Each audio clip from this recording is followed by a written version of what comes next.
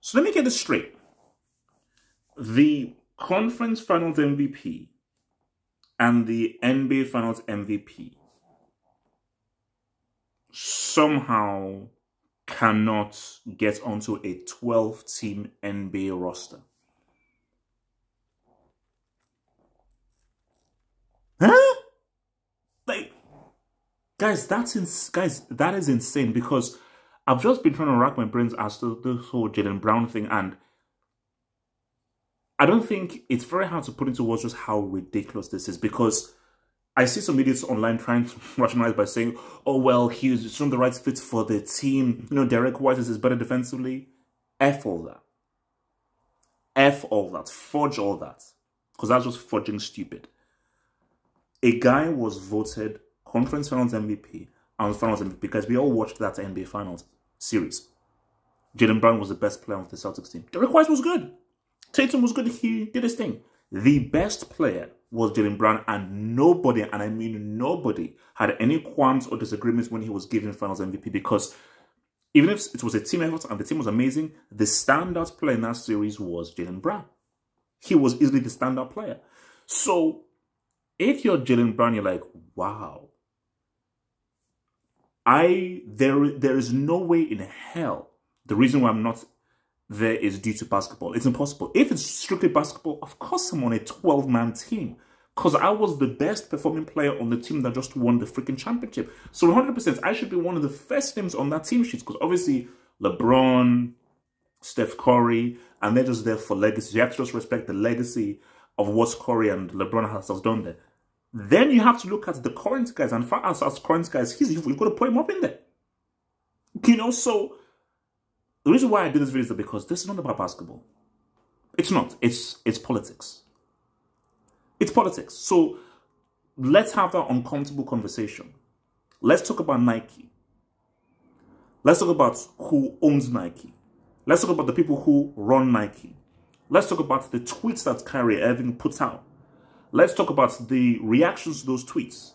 Let's talk about what Jaylen Brown tweeted out in response to what Kyrie Irving said and about how, oh, Nike, are you the guys to talk about ethics? Let's keep it 100% a stack. This is not about basketball, this is about Nike. And it's about Nike making a decision that we do not want Kyrie on this team. We don't want Jaylen Brown on this team. And if that is true, not if, it is true, that is messed up. Because why should a sponsor have anything to do with a sporting team? This is my country is trying to go for the gold medal. So therefore, I want to pick the very best team so we give no one a chance. Because this is what I've always said. The most unbeatable sports team of all time, in my view, is the American basketball team. If the American basketball team puts out their best team, not this B, if the American basketball team put out the best, their best team, I believe they're the most unbeatable. Now, growing up, this was 100% true. Like, it, bro, the 92 team, 96 team, unbeatable. The gap is shortening. And Europe is catching up. You look at um, some of the best players in the NBA right now. Jokic. Um, what's it called? Um, what, what, what, am I blanking now? The dude from the Mavericks. Um, Shai Gilgeous-Alexander um, Giannis. They, these are guys that are not American. These are guys that are on, on, on, what, am I blanking on his name?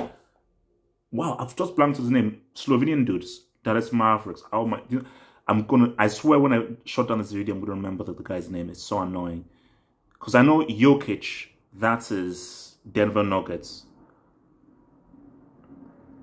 Wow, are you are you are you kidding me? So the Dallas Mavericks, oh my gosh, that's crazy. I'm going to myself. So Europe is catching up. It's catching up, but still, if America puts out their best team, they are unbeatable. But for Jaylen Brown, let's be, be, be real. It's the Olympics. I feel one of the most prized possessions for any sports person, any sports person, is an Olympic gold medal. Simply is. Shouts to the World Cup, NBA championships, um, Wimbledon, I believe that if you go into someone's house and you look at the wall of all of the achievements and you see an Olympic gold medal, that is still the most coveted sporting achievements that you that, that, that you can acquire, which is an Olympic gold medal. So it does mean something based on just the historic nature of the Olympics and just how prestigious and important that sporting enterprises of competing on the, in the Olympics. So if you're Jaylen Brown, you're like, my God in heaven, I just got, I just won the NBA championships. I just got conference MVP. I just got finals MVP. A spot opened up because Kawhi left and they picked Derrick White over me. Not because of basketball, because of politics and someone just not want me wanting to be on that team, which is ridiculous. Which is this is about basketball. So I am literally based on current form, I'm one of the best players in the league. Based on current form, I'm one of the best players in the league, and you're not picking me because of politics, because political views. Same goes for Kyrie. So for Kyrie and for Jaylen Brown, we're not. We you are robbing us of a chance of winning an Olympic gold medal, something that we would truly cherish, a moment that we truly cherish, which is winning a gold medal for our country, because of politics, not because of our skills or our talent, because of politics. It's messed up. It's messed up.